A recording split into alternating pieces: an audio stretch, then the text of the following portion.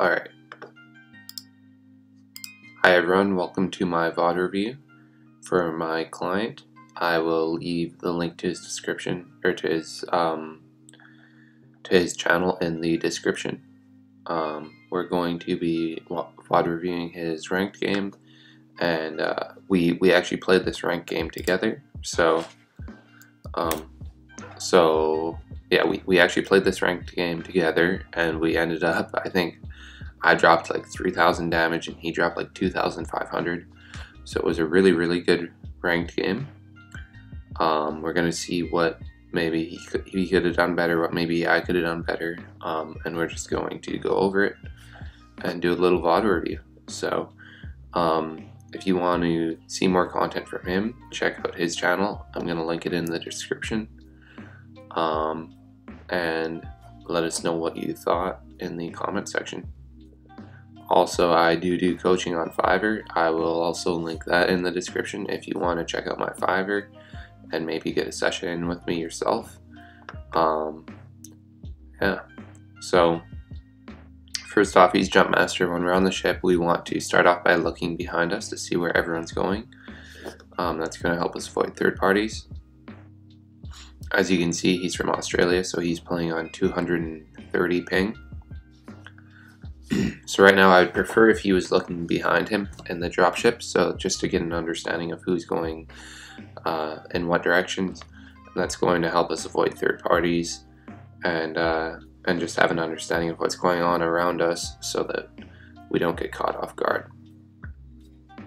Um, and then right now, as he's flying, I'd like to see him free looking a lot more than he is. Once again, just to be getting an understanding of what's going on around us. Uh, he's going to start looting. Blue armor, nice. Okay, um, so we're going to fast forward until we get into our first fight. Because I think everything at this point is pretty basic.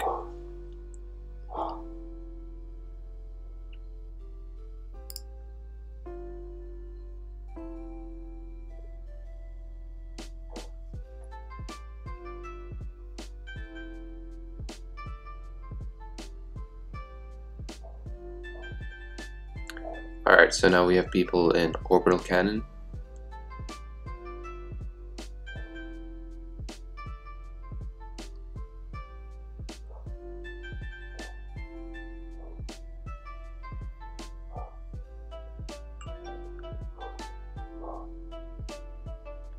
Nice, good shots, good shots.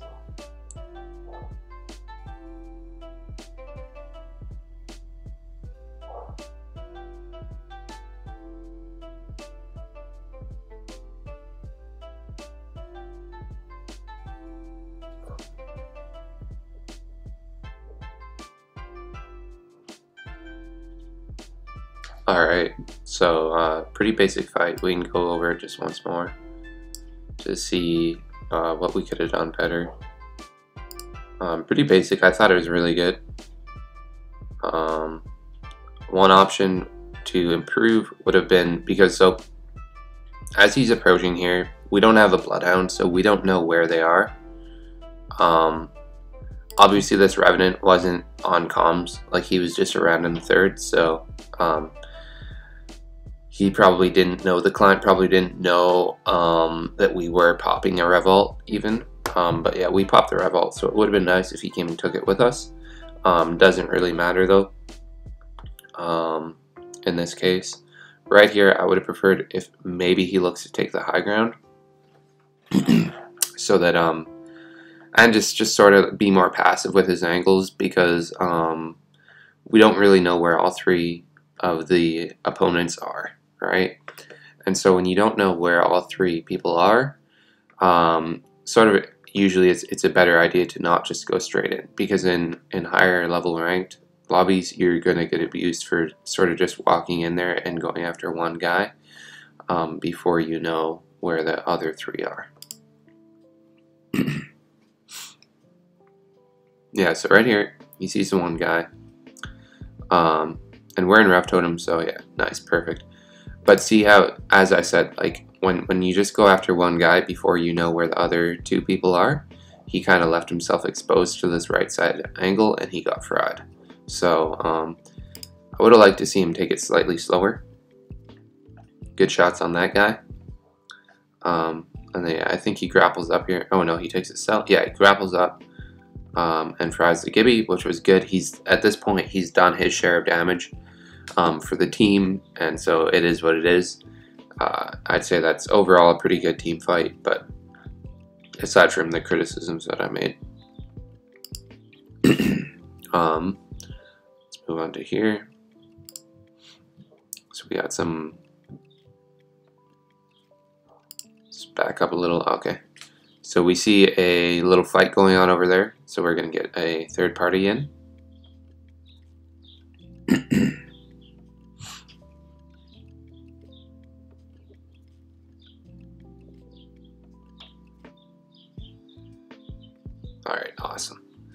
And way to catch up and like way to use your utility to be in the fight. That's really, really good. Um, a lot of people would, a lot of Pathfinders would maybe not burn that zip line and not burn that grapple. Um, I really, really appreciate how he's like with me in this fight rather than being behind like a lot of Pathfinders might be or like a lot of players might be. See, like he's right here with me. And so that's really, really good. Make sure you're looking to do that. I armor swap there. I I uh, dropped my purple for a blue.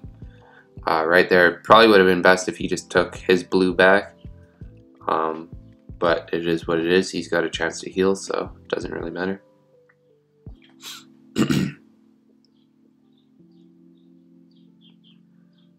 um, so I think we see that there's a guy isolated over here, so I go to try and take care of him.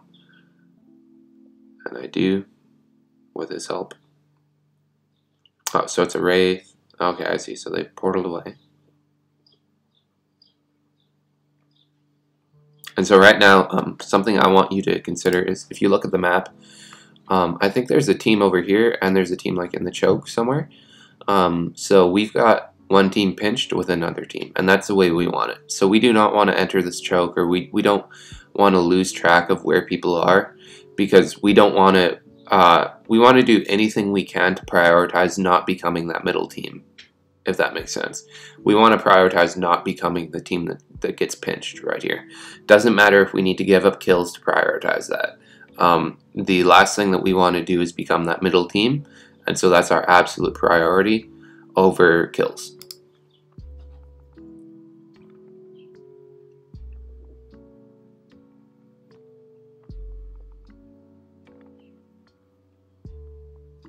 So right here, um, we don't know for certain. Let me rewind just a little. We don't know for certain that there isn't a team in this left choke. Maybe we do because of audio and stuff. I'm not watching with audio right now, so maybe I'm a little bit out of context. But we do want to be extremely mindful of this choke and this right side choke when we burn our grapple to get in there. Um, just for the purpose of consistency, right? Because we are playing ranked. We do already have two KP or kill points. Um, the cap maxes at six, if you don't know. And so I'm happy with where we're at right now. Um, we don't really need to uh, do anything crazy to um, get KP here. But then again, I'm watching without audio, so maybe I'm a little bit out of context, but as you can see, there's another team right.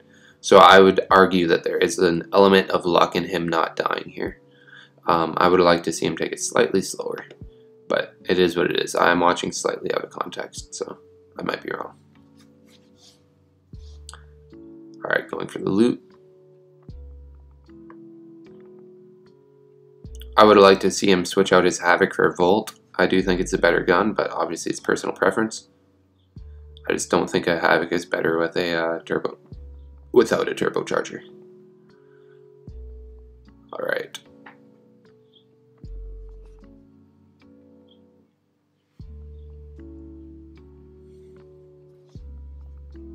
Alright. Alright, we're to fast forward a little until we get some action.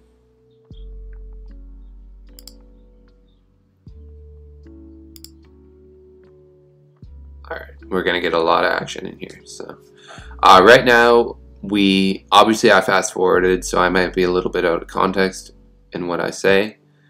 Um, but right now, the goal is to get an understanding of all the teams in the area Usually the goal would be to not fight in this situation, but since I was doing a session with a client, I wanted to get as much fighting in as possible so that uh, just so that we can improve his team fighting because I think his map rotation and his uh, end game knowledge are good. So right here, I was looking mostly to improve his fight IQ and get a really good VOD with a lot of fighting. Um, usually we wouldn't, with 2K, we 2KP, we would not look to fight in Hammond, but um, in this case we are. So uh, we want to get an understanding of where all the teams are so we don't end up getting pinched. Um, and yeah, and we also want to really stick together and just be ready for anything. As you can see, um, this fight is going to get extremely hectic very fast, and we want to. Um, I don't know. I got a really nasty one clip there. I remember that. Um, we want to just emphasize playing smart and not dying here because there are so many teams, and uh, and you'll see that we end up getting a little like like when whenever there's this many teams in this small of an area. If you end up surviving, there is honestly a little bit of luck involved every single time because there are so many teams. Um, and if you end up happening to get pinched, which we are um, risking here, we're, we're risking a pinch um, a lot. Like this is an extreme high chance of, of getting pinched right here. So um, in risking that, uh, we're obviously risking dying. And so there's a little bit of luck involved in us not dying here. I would have prioritized the armor swap right there. I think he has LOS on those bins. Um, I 100% would have prioritized armor swaps. He is MNK and he's got two armor swaps on the ground. But I also do like the Phoenix kit. I just personally would have prioritized the armor swaps right there. Okay, good damage, good damage. I'm taking a battery back there. Big damage. More big damage. Good shots, good shots.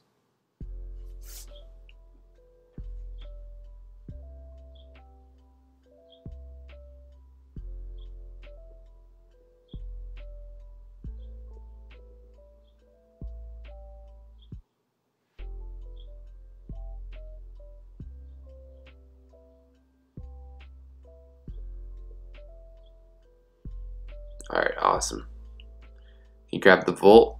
That's what I was looking to see. It's a lot better. A little bit heavy on the uh, on the energy ammo, in my opinion. He's holding a little bit too much here. Um, because he's going to be running it as his secondary. Obviously, the R301 is going to be his primary. So I think that uh, he's definitely a little heavy on the uh, on the energy ammo. He wants to find as much light here as he possibly can, and then rock either one to two, uh, either one or two stacks of energy ammo.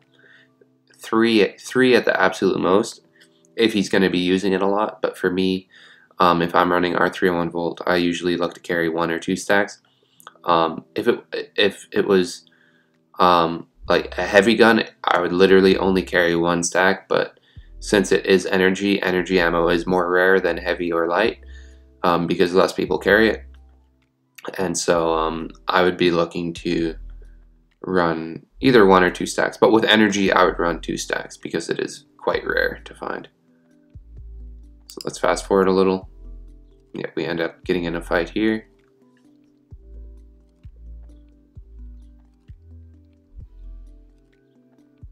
Teammate rev totems. Um, so for anyone who's wondering, this is a pretty stupid fight for us to take. Um, in this place, Energy Depot. Um, it's not a fight I would recommend. Oh, I threw such a bad pad there. I remember that. Yeah, so really bad pad by me. Um, I wanted to obviously throw it more out in the open. Um, I think my teammate's body got in the way or something. I think that's why I threw such a bad pad.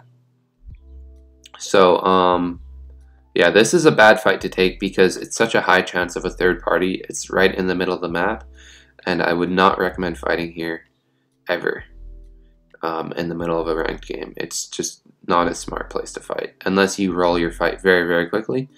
Um, so there's um, absolutely an element of luck in us not getting third partied from behind in this fight. But like I said, we're, we're, we're going for as much footage as we can because this is a paid client. He's paying for my time. And so uh, we're going for as much footage as quickly as we can.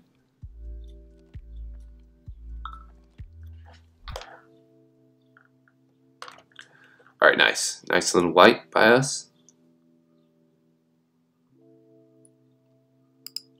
Um, and for anyone who's wondering, yeah, this is his perspective. I'm playing on my burner. I'm AC Fire. Um, this is his perspective. Um, I don't think I recorded my perspective, unfortunately. So we're not going to get the opportunity to go over that, but um, we're mostly doing this for him uh, so he can see what he could do better. Alright, we're going to fast forward to our next fight. Actually, we can rewind a little. So yeah, see, we hit a rev totem on this team. This is a really good rev totem because we've got our backs cleared. Um, if you look at our map, see we've got the whole backs cleared. Um, for the most part, I think at least um, we know we pretty much know for a fact that no one's going to come behind us. So this is a really good rev totem by our random player, um, and we totem in and we uh, we go pretty crazy here. This is a good little fight.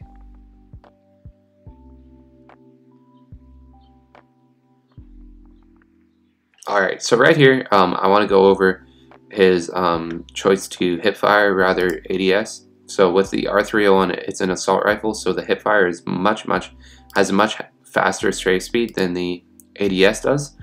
Um, meaning, for anyone who doesn't know, ADS means aiming down sights, and hipfire means when you're not aiming. So when you're hipfiring with the R301, you have much faster strafe speed, meaning lateral movement speed. Um, whereas if you're aiming, you have um, much lower movement speed. And so if you are going to choose to hip fire at this range, I want you to please emphasize abusing your strafe as much as you can um, so that you're actually making yourself a harder target to hit. Um, his strafe was a little bit weaker here, and so I would prefer to see him aim down sights at that range if, if he's not going to be abusing the strafe. So as you can see here, the strafe is honestly just a little bit weak when he uh, hip fires here in just a second. See the strafe is it's just a little weak. Um, I would prefer at that range to just um, aim down sights because he does end up missing a lot due to the hip fire. Alright, let's see. So right here, the angles are pretty tough.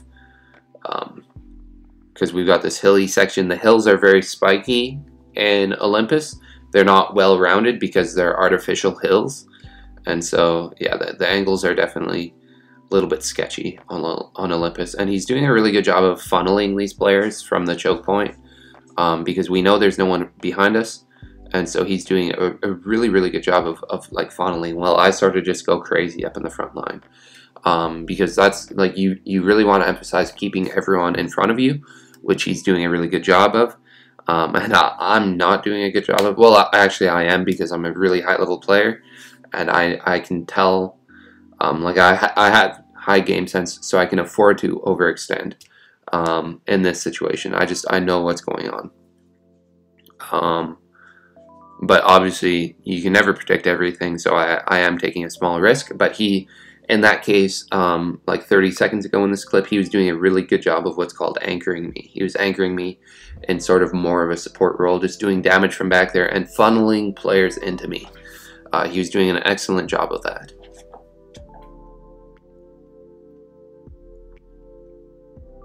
So I was able to afford to overextend. That's the point I'm trying to make.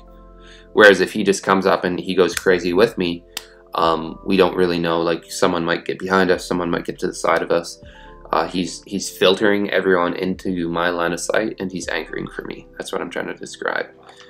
If that doesn't make sense, feel free to ask in the comment section or whatever. So right here we got four teams left. We do need to be really high alert. Um, and just sort of take things slow. We got Max KP, he's got 2 kills, 7 assists. It maxes out at 6 kills or assists, so there's no need for us to get kills or assists at this point. Uh, we just want to take things nice and slow and not throw our game at this point, just play to win.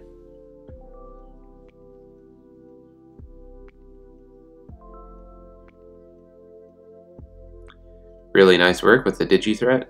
Uh, at this point, yeah, perfect grapple back. I would like to see it be even a little faster, ideally, um, but still a really, really good grapple back.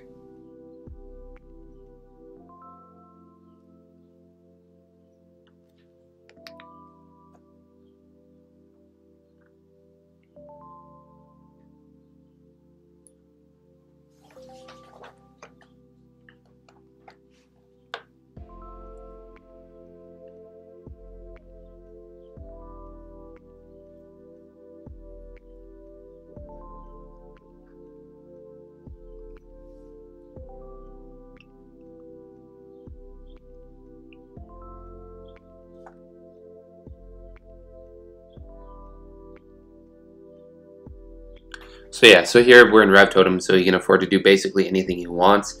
But at the same time, we do need to be very, very careful of someone getting behind that Rev Totem if we do get sent back. Um, and just, uh, once again, filtering everyone into our line of sight and trying to keep all the teams in front of us.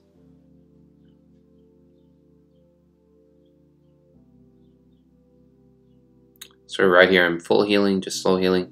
It ends up only being one guy, and so we end up getting a really easy win. Nice, good shots, good shots. Um, so yeah, that's about all there is to it. That's the VOD review. Um, feel free to click the link in the description to go to my Fiverr page. Um, I've got a whole bunch of five-star reviews. Um, really good coach. Um, I'd love to work with you guys. And um, thanks for watching the video. I think that's about it. Also, uh, check out link in the description. I'm going to link his YouTube channel and maybe his Twitch if I remember to. And yeah, thanks for watching. Um, bye.